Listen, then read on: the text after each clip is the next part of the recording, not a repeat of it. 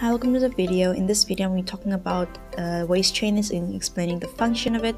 And funny enough, my back was actually really sore today.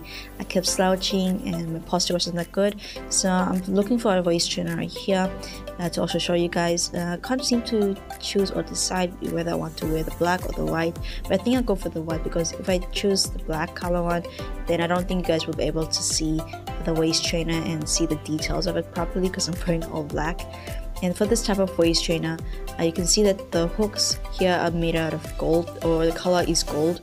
And it just makes the design really pretty. This one has stereo hook adjustment so you can really adjust it however you like. And this one here has uh, 25 steel bones uh, it may seem like a lot but this actually really helps me for my back and also gives me the uh, compression that I need the support. I should have to speed up the video otherwise it's gonna take too long Now wearing a waist trainer is also really comfortable. It has many functions and many benefits of it and you can wear it to work or you can wear it for your daily life. It just highly depends on you. You have many other colors uh, that you can select from and different designs.